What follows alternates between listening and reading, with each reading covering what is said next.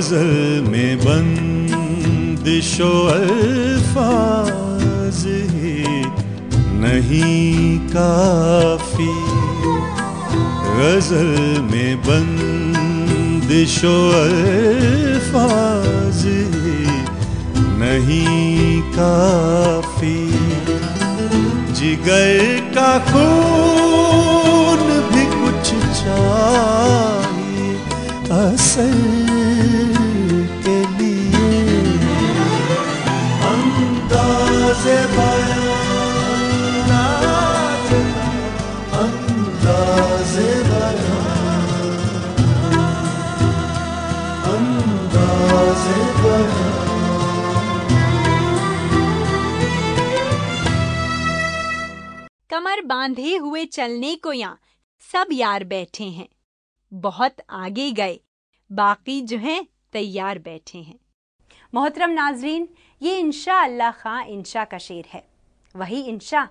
जिन्हें उर्दू के कई अहम मराकज़ में रहने का शर्फ हासिल है। वो बंगाल के मुर्शिदाबाद में पैदा हुए। वहाँ से फैज़ाबाद पहुँचे। फैज़ाबाद से दिल्ली और दिल्ली से लखनऊ। लेकिन उनका शुमार लखनवी स्कूल के शौरा में होता है। और क्यों ना हो, उनके अंदर खालिस लखनवी रंगो आहंग जो पाया जाता है। इंशा मुगल शहजादे सुलेमान शिकोह के दरबारियों में से थे। इंशाल्लाह खां इंशा की विलादत सन 1756 के लगभग मुर्शिदाबाद में हुई। 16-17 साल की उम्र में अपने वालिद माशाल्लाह खां के साथ फैजाबाद आए। वहाँ से सन सत्रह के आसपास दिल्ली पहुँचे। माशाल्लाह खां बड़े आलिम भी थे। इसलिए जहाँ गए, उनकी अवभगत हुई। इंशाल्लाह खां इंशा को आला दर्जे की तालीम मिली थी। जहानत जकी हिसी और तेज़ी व बेबाकी फितरत और शख्सियत का जुज्व थी। इसलिए हर जगह एजाज व इकराम के मुस्तक करार पाते थे। तकरीबन 18 साल दिल्ली में रहकर कई दूसरे शोरा की तरह इंशा भी लखनऊ चले आए और अपनी गैर मामूली जहानत के बायस हाथों हाथ लिए गए। अदब के मुवर्रखों ने मुर्शिदाबाद के उनके कयाम को कुछ ज़्यादा अहमियत नहीं दी है। मगर ये नहीं भूलना चाहिए कि 18वीं सदी का बंगाल दिल्ली से बहुत मुख्तलिफ़ था। अंग्रेज़ी जबान व तहजीब का असर वहाँ की ज़िंदगी पर पड़ रहा था और एक तरह की नई बेदारी की झलक पैदा हो चुकी थी। आप भी उनकी गज़ल सुने और महसूस करें उनके दिल की धड़कन को।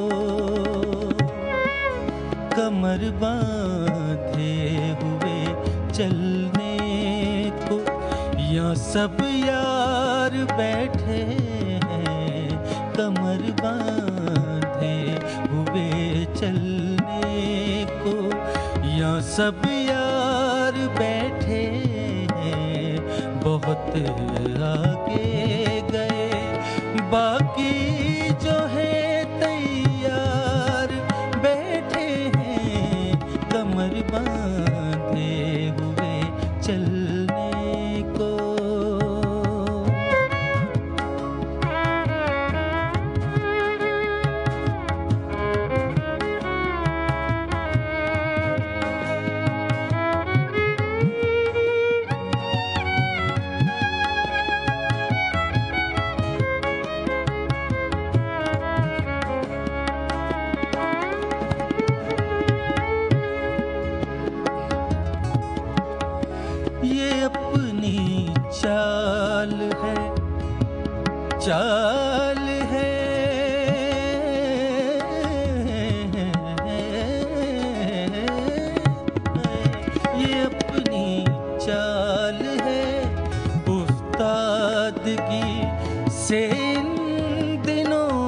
पहरूं नज़र आया जहाँ पर साया दीवार बैठे हैं नज़र आया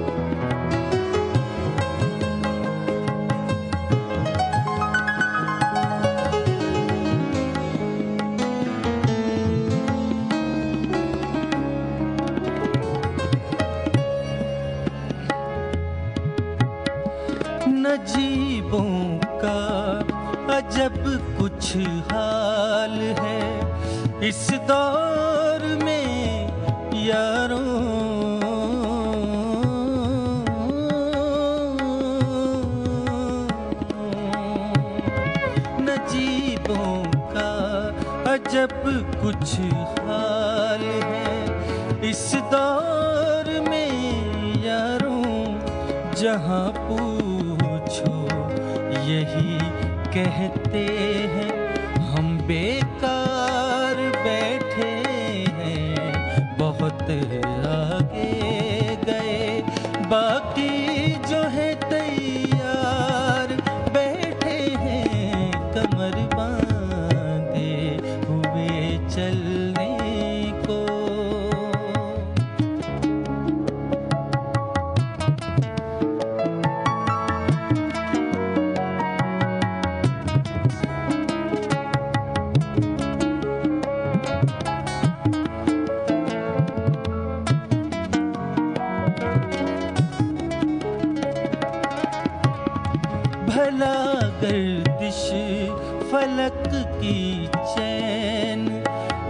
देती है किसे?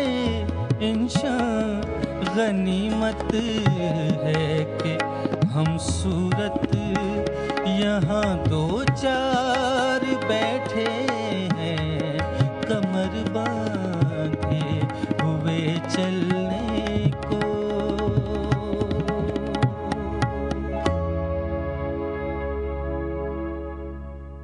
बेहद जहीन आदमी थे।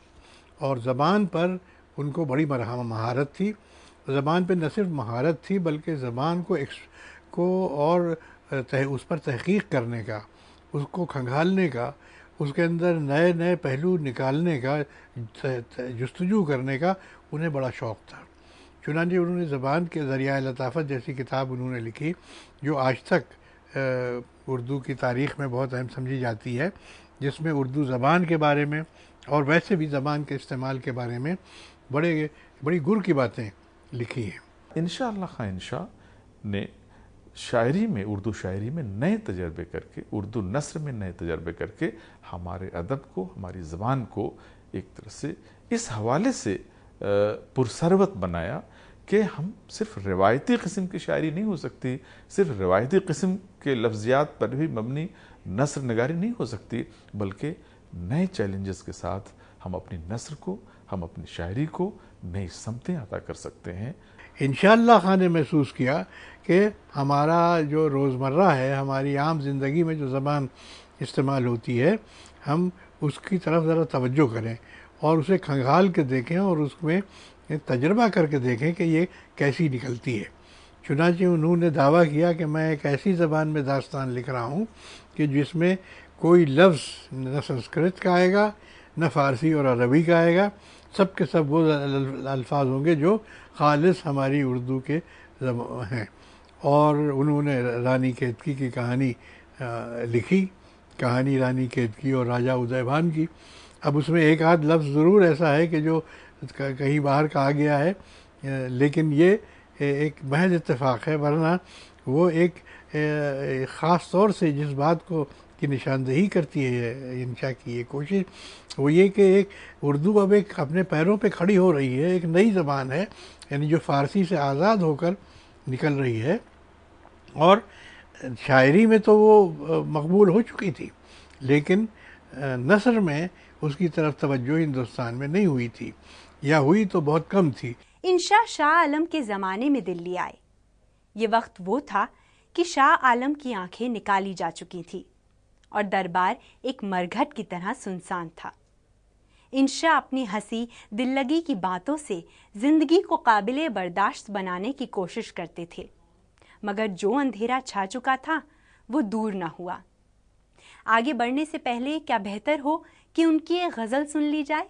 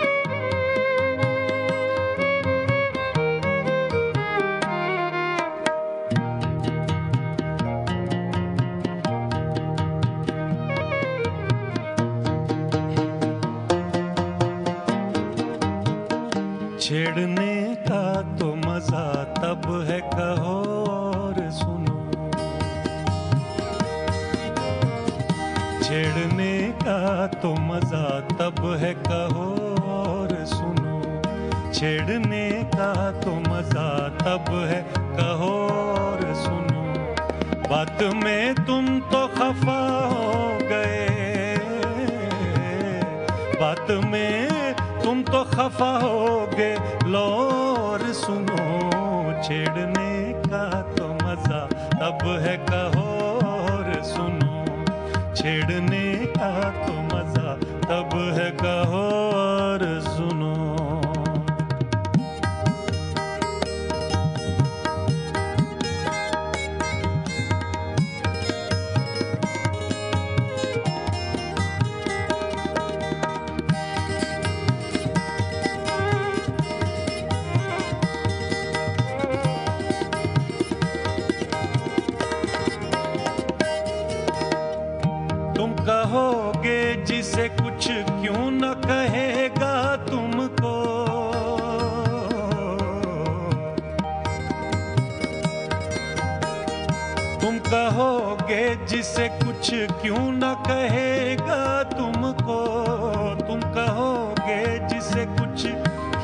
कहेगा तुमको, तुम कहोगे जिसे कुछ क्यों ना कहेगा तुमको, छोड़ देवेगा भला।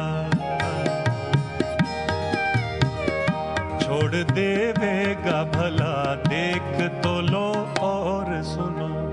छोड़ देवेगा भला, देख तो लो और सुनो। बात में तुम तो खफा हो छेड़ने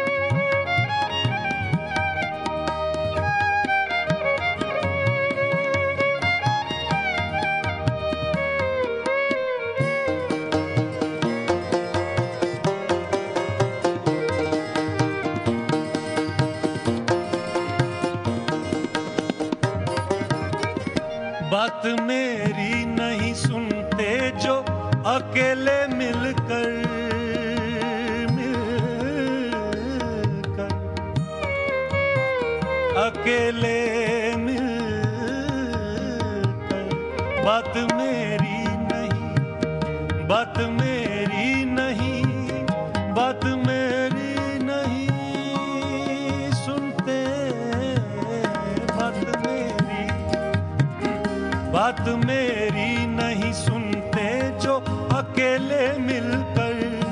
बात मेरी नहीं सुनते जो अकेले मिलकर।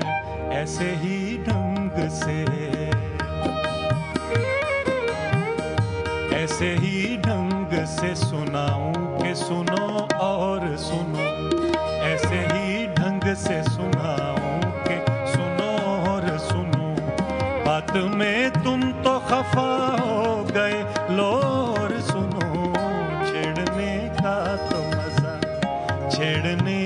तो मज़ा तब है कहो और सुनो।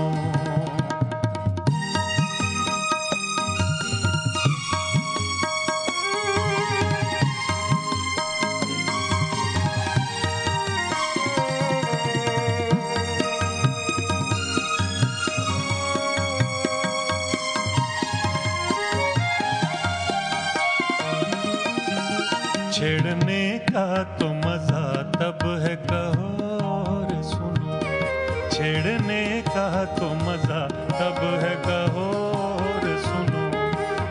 में तुम तो खफा हो गए। लो और सुनो, छेड़ने का तो मज़ा, छेड़ने का तो मज़ा, छेड़ने का तो मज़ा। तब है कहो और सुनो।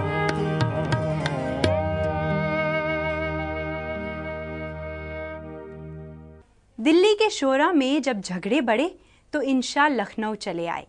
और कुछ दिनों बाद जब सुलेमान शिको का दरबार सजा तो वो भी उन्हीं के दरबार में दाखिल हो गए।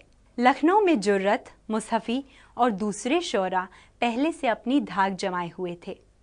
इंशा किसी से पीछे रहने वाले न थे, इसलिए उनके आने से शेर व शायरी का बाज़ार और दमक उठा। मुशायरों में मुकाबले होते, चोटें चलती, स्वांग भरे जाते और मज़ा बढ़कर तंज में तब्दील हो जाता। लखनऊ में उन्हें बहुत दिन नहीं गुजरे थे कि इंशा अपने कलाम, चुटकुलों और बातों से सिर्फ़ दरबार की ही जान नहीं बने, बल्कि पूरी दुनियाए शायरी के खवास में गिने जाने लगे। ये शायर दूसरे शायरों से इस तरह मुख्तलिफ़ था कि शायर का जो शुरू में एक तस्वुर था कि बड़ा दुबला पतला, आशिक मिजाज और बहुत ही संजीदा, कम बोलने वाला, कम हंसने वाला होगा इन खा इनशा बिल्कुल इसके उलट थे। बेहद हंसोड़ किस्म के आदमी थे हँसते थे हंसाते थे लतीफ़े सुनाते थे। इसी वजह से इनको शहरत भी ज़्यादा मिली। शायरी तो खैर उनका असल मैदान था ही और उन्होंने नहायत अली दर्जे की शायरी की बहुत ज़ख़ीम दीवान छोड़ा। जबानदां थे बहुत बड़े ज़बान पे उनको जो महारत हासिल थी वो ज़ाहिर है कि दूसरे शायरों के हिस्से में वो महारत बहुत कम आई। उन्होंने कई तजर्बे भी किए। रानी केतकी की कहानी उनकी एक ऐसी कहानी है कि जो उर्दू नसर की तारीख में हमेशा ज़िंदा रहेगी। उसी तरह से उन्होंने एक दूसरा भी तजर्बा किया। वही बहुत दिलचस्प तजर्बा है। सिल्क गहर के नाम से उनकी जो किताब है, उसमें उन्होंने ये कोशिश की है कि बगैर नुक्ते के अल्फाज का इस्तेमाल करेंगे। ये बड़ा मुश्किल काम है। उर्दू पर्शियन अरबी के बारे में तो कहा जाता है कि बगैर नुक़े के इस जबान का तस्वूर नहीं किया सकता इन जबानों का तस्वूर नहीं हो सकता। लेकिन इन खान शाह ने इसको भी बतौर चैलेंज लिया। न छेड़ न खते बाजे बहारी राह लग अपनी तुझे अटखेलियाँ सूझी हैं हम बेजार बैठे हैं। इनकी शायरी का ये है कि इनकी शायरी में हर रंग मिलता है कोई एक मखसूस रंग इनके यहाँ नहीं है। जब ये बहुत ही संजीदा होते हैं फ़िक्र का इजहार करना चाहते हैं तो इनकी शायरी अच्छी होती है आरलमियार की होती है। जहाँ मस्खरापन इनके मिजाज पे हावी होता है तो उनकी शायरी मस्खरेपन या कहिए कि इब्तज़ाल की हद तक गुजर जाती है। लखनऊ में नवाब सादत अली खां को इंशा ने अपनी बातों से ऐसा गिरविदा कर लिया कि उनकी नाक का बाल बन गए। लेकिन अपनी तबीयत की तेज़ी की वजह से वो हद से बढ़ जाते और सादत अली खां को नाराज़ कर देते। दरबारी ज़िंदगी की कशमकश, जवान बेटे की मौत और नवाब की बरगश्तगी ने आलम दीवानगी में पहुँचा दिया। हंसने हंसाने वाले की हँसी अब ख़त्म हो चुकी थी और जुनून मुसल्लत था। इसी आलम में 1817 में इंतकाल किया। उनके रंग की एक और गज़ल मुलायजा फरमाइए।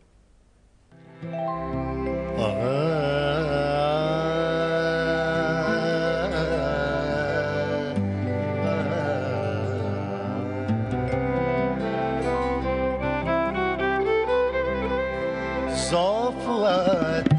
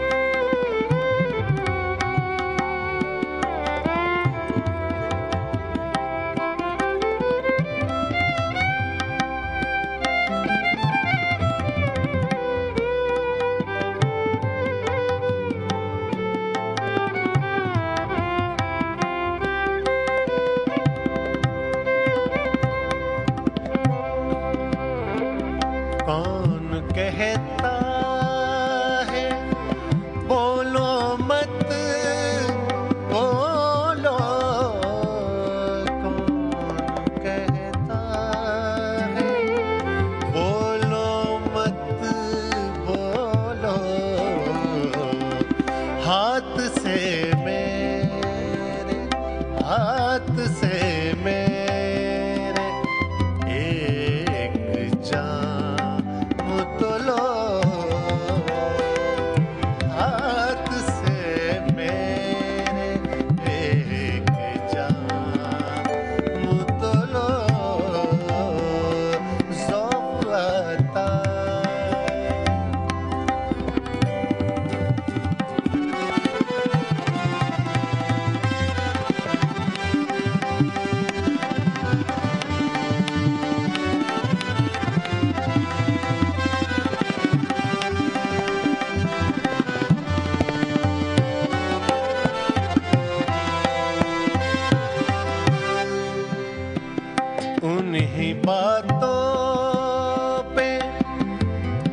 not to th-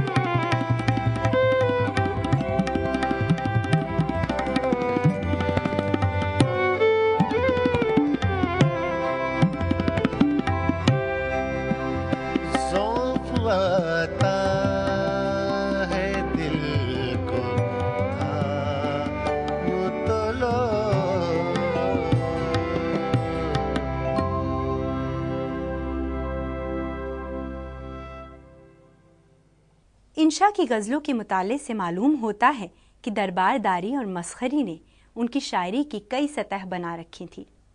संजीदगी और फ़िक्र है तो सतह बुलंद है, हंसोड़पन और छेड़छाड़ है तो नीची। उनके इल्मो फजल के शायर उर्दू में कम ही होंगे।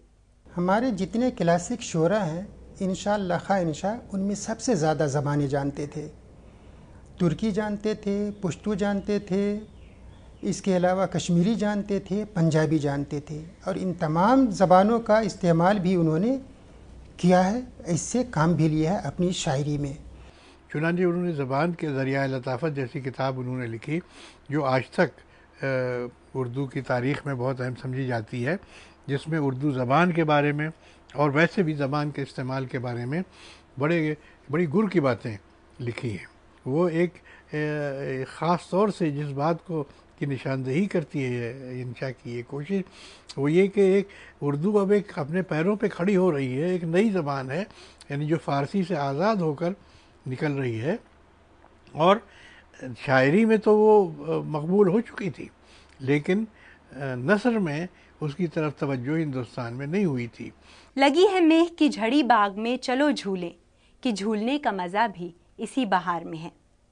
उनकी कुछ गजलें फन और इजहार वारदात के लिहाज से तगजुल से भरी हुई हैं। हाँ कभी कभी सोजो गुदास की कमी का एहसास होता है।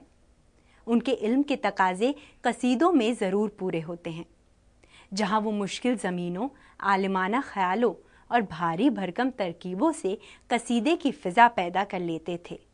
नाजरीन लखनऊ स्कूल के नुमाइंदा शायरों में उनका नाम बहुत एहतराम के साथ लिया जाता है। तो नाजरीन, इसी के साथ ये महफिल यहीं बर्खास्त करने की इजाज़त दें।